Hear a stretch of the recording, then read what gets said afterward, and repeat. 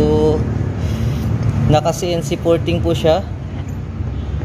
Yan po, CNC porting.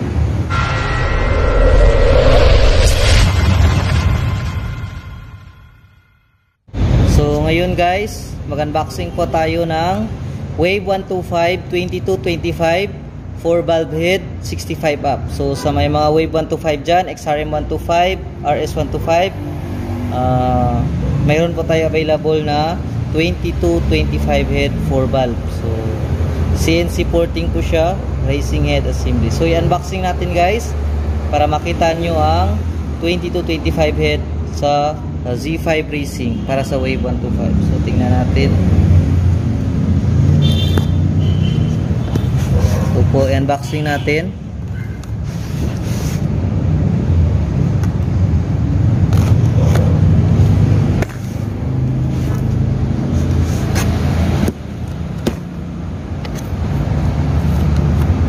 Yan po. So, ito, first, mayroon na po siyang valve seal. Yan.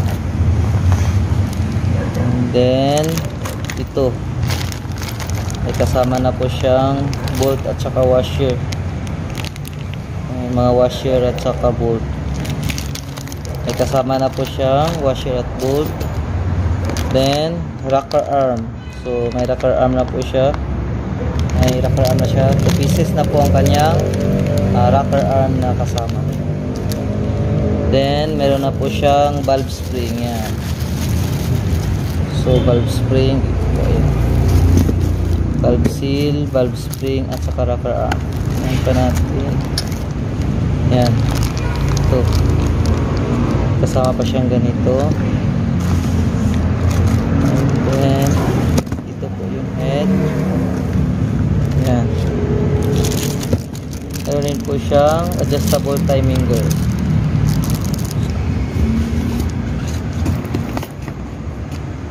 And then, ito po Then, rocker arm bushing. Okay, para dito sa rocker arm. Rocker arm bushing. Meron din po siyang uh, valve retainer at saka valve block. Okay.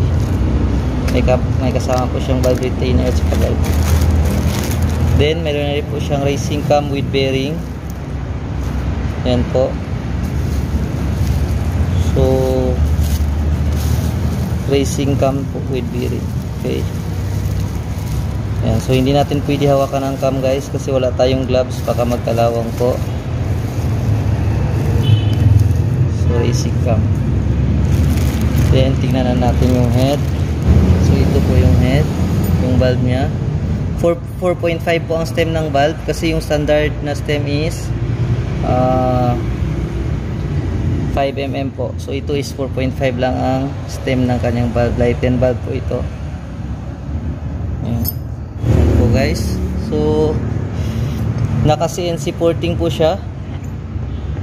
Yan po, CNC porting. Yan. CNC porting po siya and then mayroon na po siyang valve.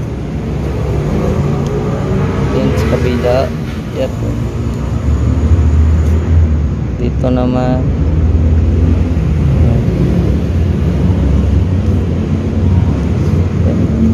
Okay guys. So ang price nito ay 8,000 pesos po sa mga gusto mag-avail nito. 8,000 ang price. So may kasama na po siyang camshaft with bearing na po. Pero wala pa yung isang bearing. Ang size ng bearing dito po is uh, 6,000 ata 600 hindi lang ako sure. Pero parang ganyan ang size ng cam bearing dito, dito. then meron siyang cam gear. Pero itong cam gear niya guys sa XRMFI lang po. So kung sa carb nyo gamitin uh, pwede po may use 40 mag bushing lang po kayo okay? Then meron po siyang bushing, rocker arm bushing, valve spring, valve seal bolt rocker arm at saka valve retainer at saka valve lock yan po guys So, 8,000 pesos po ang price sa mga MyWay 125 dyan, XRM 125 na naghahanap ng 4 valve na heads 2225 CNC. Meron po tayo sa, sa Pitch Bike Racing, uh, Z5 Racing po, sorry. So, yan lang po guys. Kung may mga tanong pa kayo, tingnan niyo lang description. Maglagay po ako ng number na pinyong tawagan. At saka pwede din po kayo mag-comment. Maraming salamat. Don't forget to like and subscribe para updated kayo palagi sa bago nating mga video.